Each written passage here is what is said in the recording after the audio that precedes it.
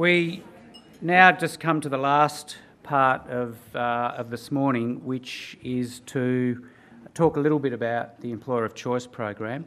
Um, and being an employer of choice is all about caring for your employees, and that then extends into your colleagues and your clients.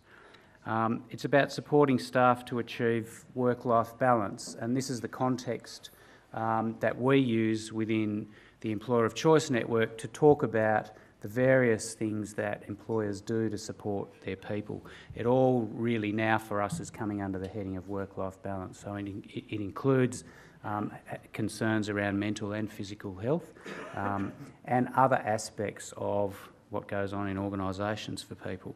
Um, so what we're finding is that um, employers supporting their staff to achieve work-life balance means that those people are more productive and engaged at work. And then they've got the energy and a positive frame of mind to live a full life when they're not at work. And so that's how employers actually touch the whole community. So what we've been doing over the last six to 12 months is working with um, employers of choice to build up some case studies um, on just enabling us to understand what work-life balance is.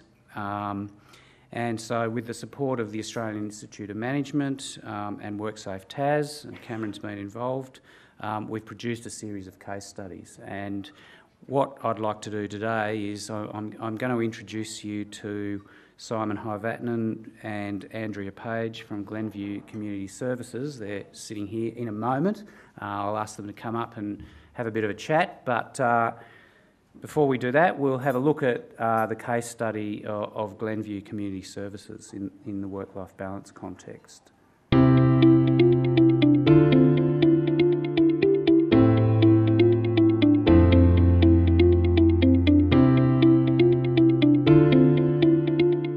I've been here for nearly 12 months now and um, been enjoying my particular role in engaging with staff around where they see things are at um, in relation to the way that we would like to deliver our model of care for residents, which we're calling Residents' Choice.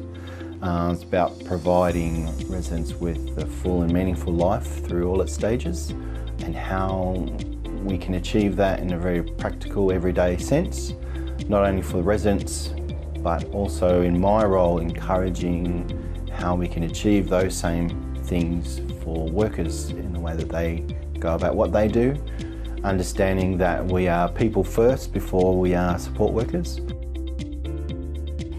With my father, I found that he had um, had to have an operation. He's a diabetic, so that when he had his big toe amputated, he needed to come and live with my husband and I for four or five months. Everything he needed, I needed to provide when I went and see my manager about this that I needed more time or that I might have to retire. But I found my manager was understanding. They allowed me to change my hours to suit what I could do or what I needed to do for my dad, but also to maintain my job. So I was very lucky that they listened, that they cared, and that they provided me with the help that I needed. After a few months of being in my role, um, I was able to meet the staff and meet the residents, get the lay of the land um, and an understanding of where we were, what we were trying to achieve, uh, what we were looking at, what the vision was uh, for the future. That didn't need to be a complex thing, it could be something fairly simple. The way we went about it was engaging with staff in conversation, understanding who they were, in how they understood their role um, and that meaning of what it meant to them to be a support worker, uh, a lifestyle worker, a carer, a nurse. When we see a resident that may need a bit of time spent with them or if they ask, you know, um, what's happening, um, could we sit down and have a cup of tea with them? We can sit down and not feel that we're pressured with tasks that we may need to do. Uh, we don't look at them as tasks. This is part of our daily routine that we're there for the resident. If their needs are for us to provide them with emotional assistance or uh, with love, I think you would call it. That's what we provide.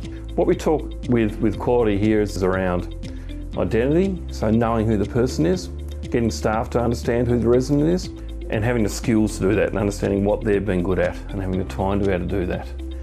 Within the last six months, we've made a real focus to understand our workforce. Um, so we're developing um, a workforce plan to capture an understanding of who our staff are, what skills they have, what development areas there might be, and how we can enhance their their effectiveness to do their role. Uh, when I started working, I thought I might not be enough because I'm not Australian. But I started working at the Glenview. I saw so many peop- people from overseas working with me, and I thought, oh, this is okay. Because um, I wasn't, I didn't have a confidence in my English. Well, they started giving us um, tablet, just use a translation or you know. So I said, oh, I can do it. You know, so it gives me a confidence working in uh, Australia and working in this industry. And yeah, I was very happy that uh, we can communicate each other with the English. And then at the staff room, we all came from different countries, but speaking in English and then having a conversation. And yeah, that's a really bit uh, beneficial, you know, for me. I think what Glenview has tried to do is involve the whole community. We go on walks for charities, we go on mud runs, which I thoroughly enjoyed. I actually got filthy with mud and water and was dunked. You know, when I went down this great big slide at the end of it, lost my sunglasses. but I absolutely loved it. I come up spluttering, but I absolutely loved it and I felt that I was part of a team. On the way around, we helped each other, and I think that's what it was mainly about. Here at Glenview, one of our phrases that we that we talk about a lot is um, journeying together, and we're trying to in, incorporate that into the way we do support for residents or our clients. But we're seeing that from another perspective now, how we can journey together with our staff to achieve that life balance.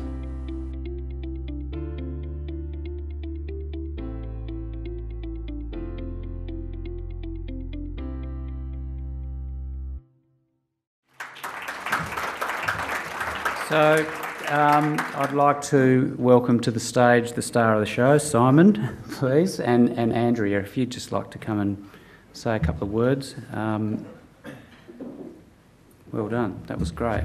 Uh, let me see whether I need to do that. Yeah. Thank you. Um, thank you for the opportunity to mention a couple of things this morning. Um, we're an aged care facility, both uh, residential and offering community support to um, people out in their in their homes. Um, we're a 24 hours a day, seven days a week organisation, so it can be tricky. Um, shift work, night shift was mentioned in some of the slides earlier, so we can understand. Um, we have quite an empathy around um, where we are in terms of understanding where people uh, can be impacted by the, the, nature of the work or the nature of their shifts. Because um, we're working in aged care, you know, we're we're exposed to people that are frail, that are death and dying and things like that. So it's uh, quite an emotional space to work in um, and a highly rewarding uh, space at the same time. Um, I think uh, one of the major things uh, that we've learnt along the way, it's it doesn't need to be fancy, it doesn't need to be complex, it doesn't need to be um, significant um, in terms of its elaborateness. It can be just simple, honest, open conversations with staff, um, small um, steps along the way, knowing that it's like I've mentioned there, we're journeying together. So we're we're we're working together with the staff to understand where they're at and um, being there to support them along the way with whatever hiccups come along. Um, like I mentioned, you know, we're, we're people first before we're workers. Um, and just taking that into context and realising that um, poor performance might not be just a impact uh, and identify around their skills. It could be other things happening outside in their personal life that's impacting them at work. Um, I suppose the other key message, if I can share my ideas with you is keep your eyes open. Um, uh, look, look at the lay of the land. Um, take that moment to step back and. I know we can get so busy and we can get so involved in the things that we need to do and the deadlines and the, the reports and the audits and all this kind of thing. Um, but yeah, step back and have a good good look at your people, look them in the eye, and see how they're really travelling because some of them are a little bit scared to actually say that stuff's going on. Um, being being there, being present with them um, is really important. Uh, it's the same message that we provide to staff is about being present for the for the client or for the resident to understand how they're travelling. We're saying the same thing. Hey, we're willing to listen. We want to we want to talk to you about what's going on for you and and understand where we can support you. So, I thought, yeah, I'd share that today. Thank you. I'm just interested to know what prompted you down this track because usually there's something that sort of starts a person thinking we should do differently or I'm going to take a different approach. So, what was it that started you down this track? Um, essentially, we were we do we are expecting a lot more of our staff around our model of care. So we understood that it's a give and take scenario. Like we, we need to be offering more support in that same environment to be able to uh, to respond to that appropriately. Yeah, so that was the main trigger. Um, we do have working groups around workforce planning and um, health and well-being and stuff like that. So um, we just ramped that up um, and just made that a little bit more visible, a little bit more accessible, um, and a and keep the conversation going. Even if it's just one or two minutes in a meeting, it's a, it's keeping the conversation alive. That's what we're doing. Yeah. Thank you. I'm a professor from the U.S., but I just think you're great, man. That's all right.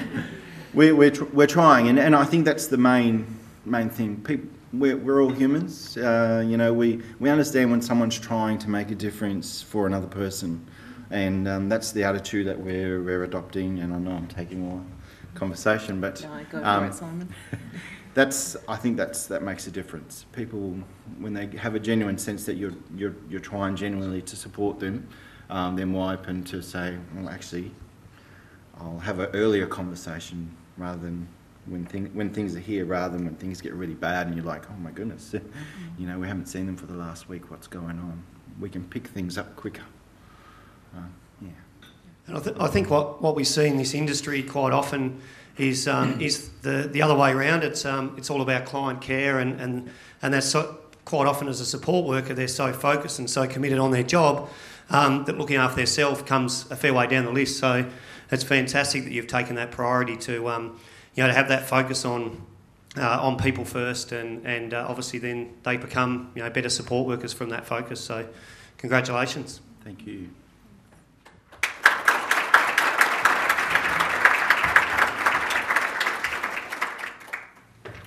Okay, um, and yeah, I just wanted to, that slide that we've got up there, um, through the um, Work Life Balance project and with the support of Employers of Choice and, and AIM, this is the kind of um, graphic definition that we've, that we've developed on work life balance. So I guess that comes back really, we've turned a full circle and we're now back to what, what Tony was really talking about. Um, is how how to work what what what can workplaces do? What is the role of workplaces in the mental health of their people? And and um, having something like this starts to sort of uh, make those connections. You know, really work and health and family, friends, and community. They're all connected, and and employers have got to really critical role in making sure that people have that balance. And, and so that's what we're really now trying to promote amongst the Employer of Choice Network, but, but beyond. Um, so uh, I just want to now just um, draw your attention to the fact that the Employer of Choice Awards are now open. Um, and through those awards, the Tasmanian Government recognises organisations that demonstrate um, contemporary workplace practices and outstanding support for their staff, and that includes opportunities for them to develop work life balance and also care for their mental health. And we've had lots of examples of employers of choice that, that build that, uh, that kind of workplace that, that Simon and Andrea have been, have been sort of doing at Glenview. There are 70 employers of choice, um, and we want to see many more. So if you're um, in a workplace that's doing a great job, and we know that there's plenty out there that, that don't put their hand up to be recognised, um, please encourage your workplace to maybe have a look at the awards and, and put in an entry. Um, there's a card on your table that you can take away with, with details, um, and we'll be announcing those awards um, sort of in the middle of next year. Uh, the other thing that I'd like to mention is that as part of the program, we've got a range of business cluster workshops, um, and we've got we've actually got one specifically on mental health in the workplace. We've got Doug Vortier from AusHelp over here, who delivers uh, one of the cluster programs. They're workshops that run uh, three half-day workshops over four months. We've managed to negotiate very good um, rates for organisations to participate in those series of, of workshops. So um, you don't have to do them all. You can pick one that, that matches the need of your workplace um, and give it a go. We, we, think that we've got some really good um, relevant topics there, but in particular for, for today, for people here, that one um, that Doug delivers for AusHelp. There's also, you know, creating a life balance culture by Nick Stephen, which is then related back into the work-life balance work. So um, those are all on the Business Tasmania website. Um, business.tas.gov.au. So if you want to have a look there, go to the employer of choice page and you'll get a link to full details and flyers on each of those clusters. Uh, there's an evaluation form on your table. We'd love to um, get you to spend a minute or two um, just letting us know what you've felt about um, the event this morning. Um, that'd be great because we always strive to be better next time. Um, so I guess that's a wrap. Is that right? Yeah. Okay. Um, thank you very much to Angela and Kristy and the team at UTAS School of Business and Economics. Thanks very much to Cameron and the team from WorkSafe Tas. Um, thank you all, and look forward to seeing you at the next one. And and have a great conference if you're around for the next couple of days. Thank you.